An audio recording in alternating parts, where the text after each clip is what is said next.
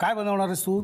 मी veg momo बनवते. Veg momo? Momo ही एक नेपाळी हे आहे. रेसिपी आजकाल आम्हा यंगस्टर्समध्ये ती फार आवडते सगळ्यांना. आम्हा एक्स्ट्रा म्हणजे मीच तर यंगच आहे? ओके. ओके मला साहित्य सांगतेस काय काय? आहे? भिजून घेतलेला भिजवून मैदा घेतलेला मैदा आहे. त्याच्यानंतर हा मै- आपल्याला पुऱ्यांसारखं छोटे छोटे लाटायचं आहे. त्याकरता लागणारा मैदा.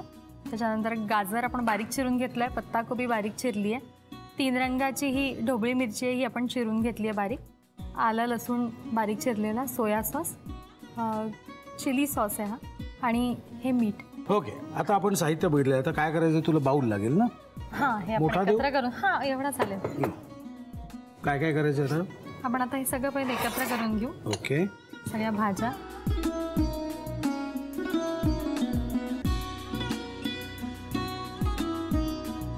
आपण आता गाजर घातले त्याच्या आधी आपण आपण काय आता- घातले? त्याच्या आधी आपण ढोबळी मिरची घातली आहे तीन रंगाची आणि पत्ता कोबी घातली आहे. हो. आणि आता आपण आलं लसूण घालतोय. लसूण. अंजिरो तर बरोबर करते ना ती? छान छान छान करतो. मला कळत काहीच नाही पण चांगलं ठोकून सांगायचं करेक्ट करते ती म्हणून. मीठ चवीभर soya sauce. Soya sauce. Okay. हे कुठला सॉस आहे? हा चिली सॉस आहे. टेस्टी जास्त करायचं असेल तर चिली हा सॉस आपल्याला. तिखट जसं हवं तसं.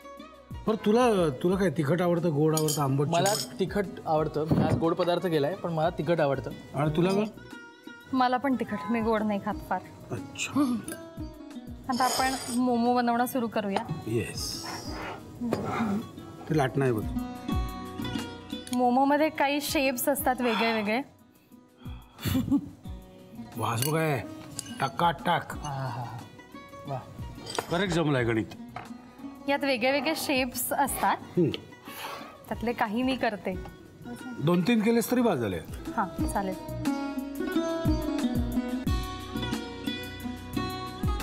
यात आपण सारण भरून घेऊया.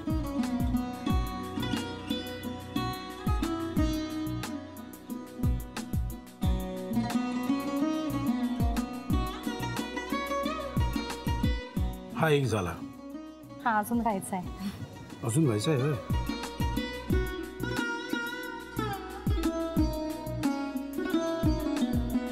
हो. अजून एक कर. अजून एक करू ना? आता आपण हा एक अजून शेप बनवूया.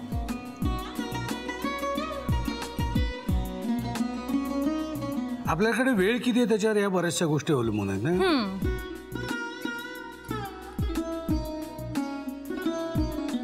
हम्म. मस्त ते झाकण घे. हे साधारण आपल्याला किती वेळ लागेल आता? शिजायला? एक पंधरा वीस मिनिटं तरी आपण याला स्टीम हा, कारण आपण याच्यात आपण आतला सगळं कच्चं घातलंय. आपण कच्चं घातलं असल्याने.